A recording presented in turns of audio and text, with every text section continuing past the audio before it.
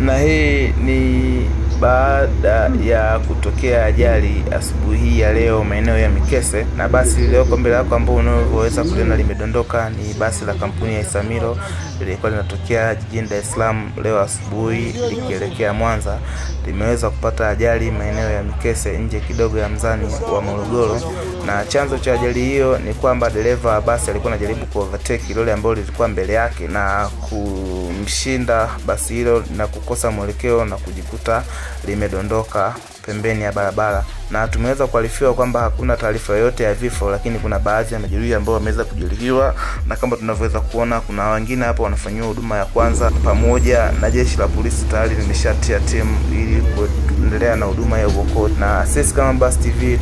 tungependa kutoa pole kwa kampuni ya Isamino pamoja na wasafiri waliokuwa wanatokea Dar es Salaam kuelekea Mwanza asubuhi hii ya leo, ili kuwaombea kwa Mwenyezi Mungu waweze kupona haraka ili kuendelea na majukumu yao ya kila siku. Endelea kukaa katika chaneli yetu ya Mabasi TV, make sure una subscribe, utakuwa umetisha. Asante.